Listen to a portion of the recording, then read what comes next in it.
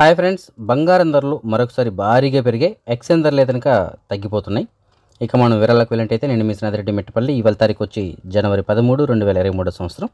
ముందుగా మనం కువైట్లోని money exchange విషయానికి వచ్చినట్టయితే ప్రస్తుతానికి ఒక కువైట్ దినారు మన భారతదేశం రూపీస్లో రెండు వందల అరవై నాలుగు రూపాయల యాభై ఐదు పైసలుగా ఉంది. అయితే మనం కువైట్ నుంచి మన భారతదేశానికి ఎన్ని దినాలు పంపిస్తే ఎంత డబ్బులు వస్తుంది అనే దాని గురించి కూడా ఒకసారి చూద్దాం. మనకు ఒక ఐదు వేల రూపాయలు కావాలనుకుంటే కువైట్ నుంచి పద్దెనిమిది దినార్ల తొమ్మిది వందల పిల్స్ పంపించాల్సి ఉంటుంది. పదివేల రూపాయలకి ముప్పై ఏడు దినార్ల ఎనిమిది వందల పిల్స్ ఇరవై ఐదు వేల రూపాయలకి తొంభై నాలుగు దినార్ల ఐదు వందల పిల్స్ యాభై వేల రూపాయలకి నూట ఎనభై తొమ్మిది దినార్లు అలాగే లక్ష రూపాయలకైతే మూడు వందల డెబ్బై ఎనిమిది దినార్ల చొప్పున పంపించాల్సి ఉంటుంది. అదే మనం బంగారం విషయానికి వచ్చినట్టయితే మాలియాలో ఉన్న సూకల్ వతీలో ఉన్నటువంటి ఎఫ్కే జ్యువెలర్స్ వాళ్ళు మనకు అందించిన సమాచారం మేరకు ప్రస్తుతానికి ఒక గ్రాము బంగారం ధర ఇరవై రెండు క్యారెట్ల బంగారం పద్దెనిమిది దినార్ల వంద పిల్స్గా ఉంది. అదే ఇరవై నాలుగు క్యారెట్ల బంగారం అంటే బిస్కెట్ రూపంలో ఉండే బంగారం. ప్రస్తుతానికి ఒక గ్రామ్ ధర పద్దెనిమిది దినార్ల ఐదు వందల పిల్స్గా ఉంది.